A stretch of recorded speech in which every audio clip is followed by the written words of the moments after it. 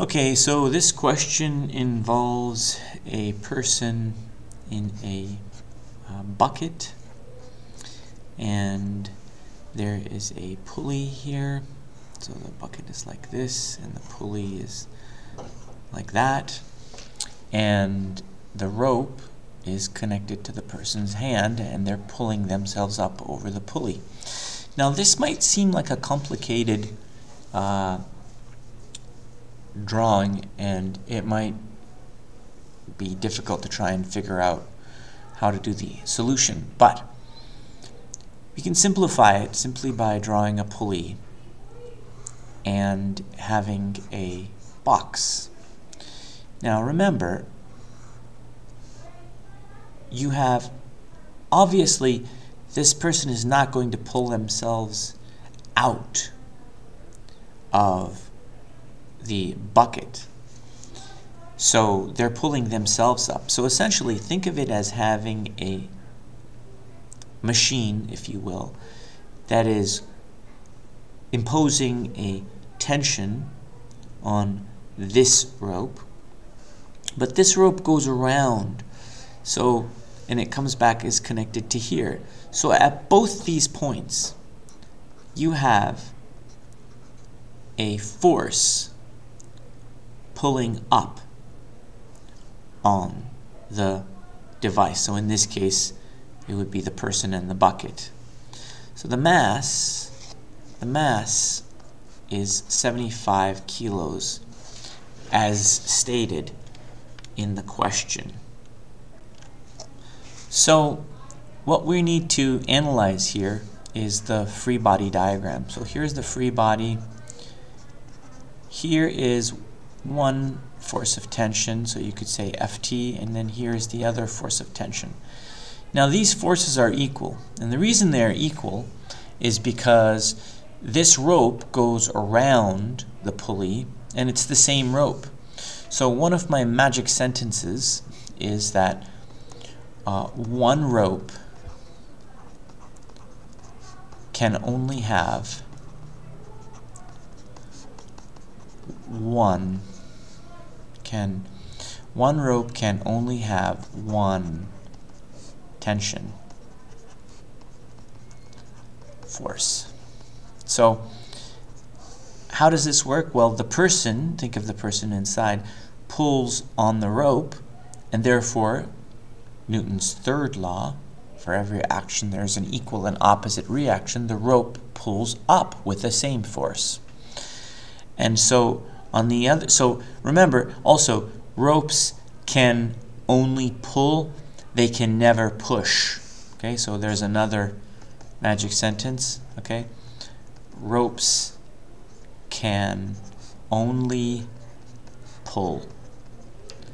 You can never push with a rope. So, so these two forces are acting on this body, and so those are, those are the only things touching it. And so again, my other magic sentence is what's touching it plus gravity for to finish off the free body diagram. So now you see here we have all of the forces on the free body diagram. Here's our free body diagram right here.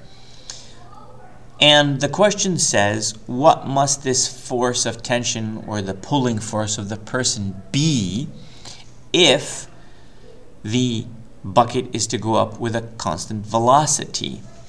And the constant velocity is a giveaway because a constant velocity uh, implies acceleration is zero.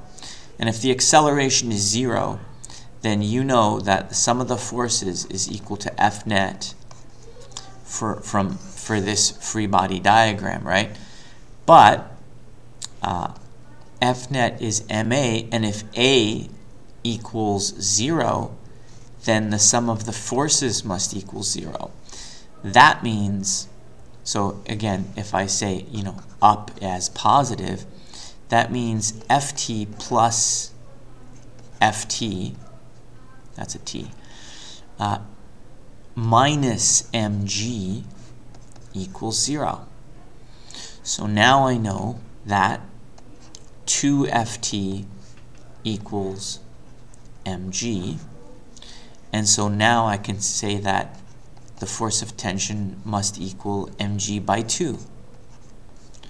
So that's just uh, 75 kilos multiplied by 9.8 newtons per kilogram and uh, divided by 2, which will give us about uh, 367.5 newtons. And we can round that off to probably around 368 newtons. That's fine.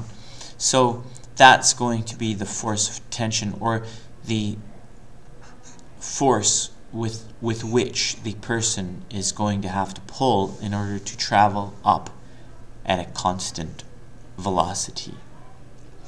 So the second part of this question asks um, if she increases this force by 10%, what will her acceleration be?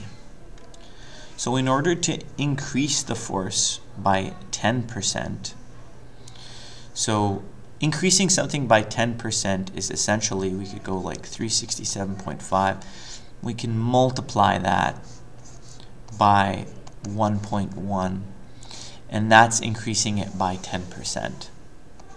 So we'll get so we'll get 404.25 newtons.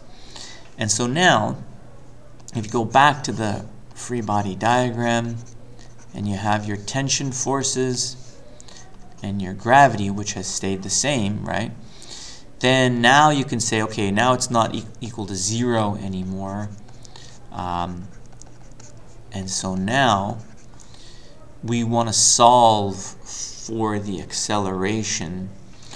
So we're going to go uh, ft plus ft minus mg divided by m equals a. I've just divide both sides by m, and the, the m disappears on this side.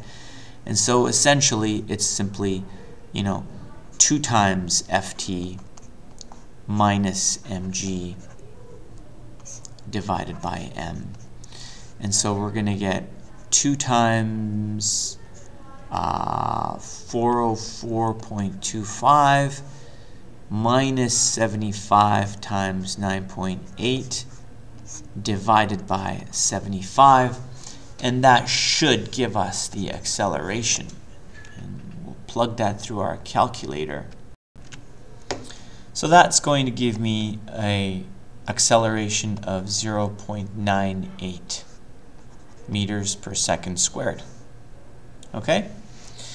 And so th eh, that would be up, by the way. Okay, that's assuming she increased her uh, the, the pulling force uh, by 10%. Okay? So that's the end of that problem. Thanks.